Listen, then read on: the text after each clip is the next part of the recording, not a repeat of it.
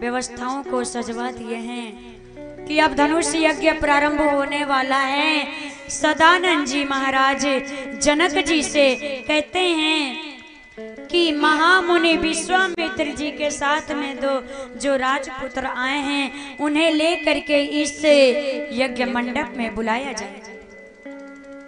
दोनों राजपुत्रों को लेकर के आए। जितने लोग भी बैठे हुए थे सभा में, सब चौंकने लगे, देख के अरे चौंक गए कि ये दो राजकुमार इतने बड़े बड़े महारथी सूरवीर आए हैं।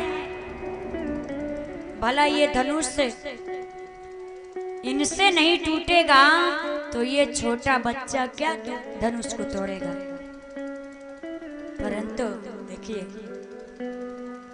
सूर्य भगवान देखने में छोटे लगते हैं, परंतु उनके तेज को कोई सहन नहीं कर पाता है। हमारे राम जी भले छोटे हैं, लेकिन कितने बड़े बड़े असुरों का संहार किए, कितने पापियों को तार दिए।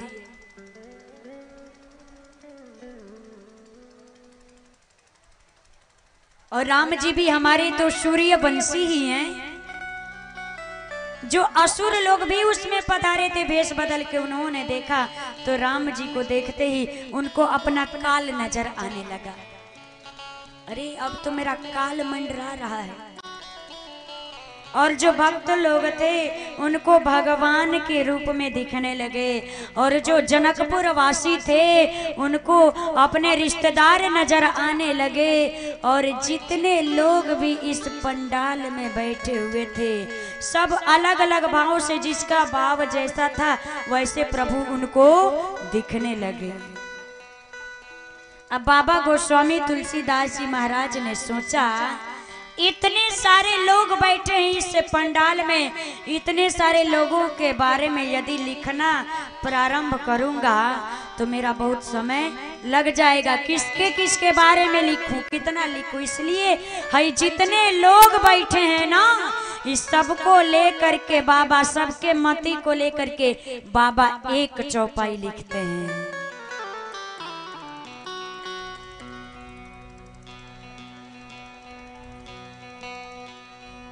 बाबा सबको मिला के एक ही चौपाई लिखे। जाकी रही भावना। जय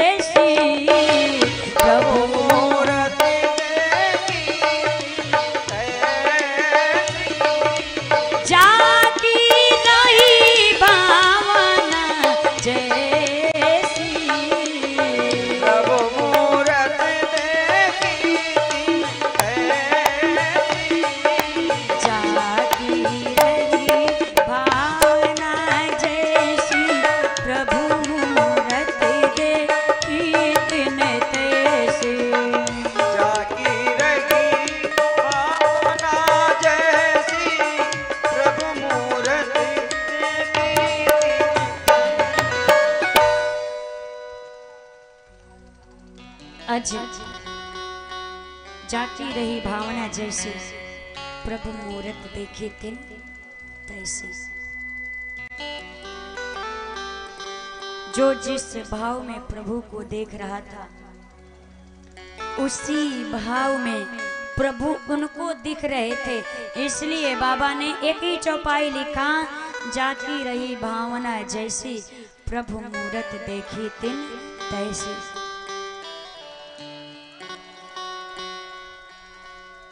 सभी मंचों से ऊँचा मंच बना है प्रभु को बैठने के लिए, ताकि मेरे भगवान बैठे तो सभी लोग उनका दर्शन कर सके। जनक जी महाराज, कहते हैं, अब मेरी प्रतिज्ञा को सभी को सुना दीजिए। बोले, बंदी बचन वर, सुनहु सकल महिपाल। पन विदेह कर कहा ही हम।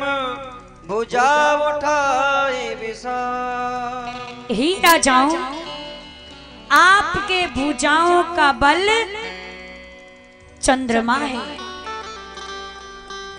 यह शिव जी का पिनाक राहु है और कितना कठोर है, आप सब इससे विदित हैं। रावण जैसे और बाणासुर जैसे बंधन करके चले गए, स्पर्श भी नहीं किए। और ये पिनाक कितना कठोर है, आप जानते हैं, जो इस बड़ी सभा में रखा गया है। आप में से किसी ने अगर इस धनुष को तोड़ दिया तो तीनों लोक में उनकी जय जयकार होगी, और हमारी जनक जी की पुत्री किशोरी जी उनके गले में जयमाल पहनाएँगे। उनकी कीर्ति बढ़ेगी। तीनों लोक में जय जयकार होगी। अब सोचिए, जैसे ही इतना सुने राजा महाराजा, अब सोचने लगे, अरे, ये धनुष हमसे टूटे, उनसे ना टूटे। सब यही सोच रहे थे, एक दूसरे के बारे में धनुष किसी से ना टूटे, मुझसे टूटे। अब एक एक करके धनुष के पास जाने लगे। उठाने। धनुष उठाते गए। धनुष तो तिल का तार तक नहीं हुआ। धनुष हिला तक नहीं। अरे धनुष टूटेगा कैसे? जब सभी राजा महाराजा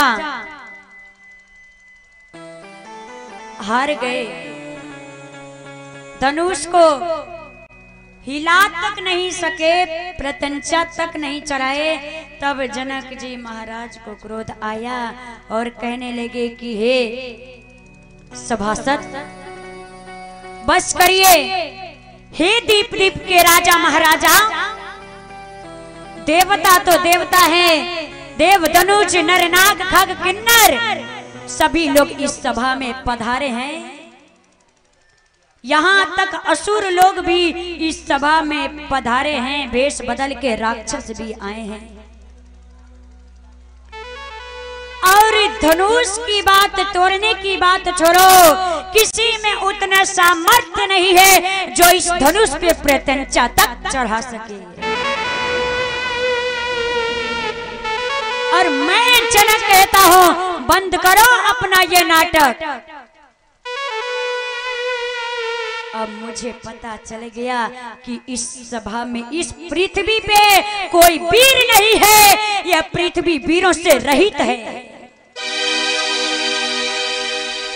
मेरी पुत्री का विवाह हो न हो, मैं कर भी क्या सकता हूँ? अगर मैं अपने प्रतिज्ञा को छोड़ देता हूँ तो मेरा सारा पुण्य नष्ट हो जाएगा। मेरी पुत्री का विवाह हो न हो, आप लोग हम कर भी क्या सकते हैं? बताइए, हम कर भी क्या सकते हैं? अगर मुझे पता होता कि ये पृथ्वी वीरों से रहित है, इस पृथ्वी पे कोई वीर नहीं है तो मैं ये प्रतिज्ञा कदापि नहीं लेता। जनक जी महाराज के इस करुणामयी वचन को सुन करके सारे जनकपुर वासी नेत्र में अस्त्र धार भर लिए, दुख में प्रवेश कर गए। सभी लोग हमारी किशोरी जी के तरफ़ देखने लगे। अगर हमारे किशोरी जी का विवाह न हुआ तो कैसा लगेगा? जनक जी महाराज जैसे ही आवेश में आकर के बोलना प्रारंभ किया, लक्ष्मण भैया कहता है जनक जी महाराज,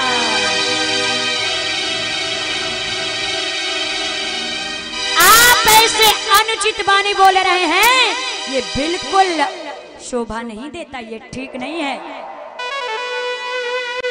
जनक जी महाराज इस सभा में एक भी रघुवंशी बैठे होंगे ना तो आपके इस कठोर वचन को सहन नहीं कर पाएँगे।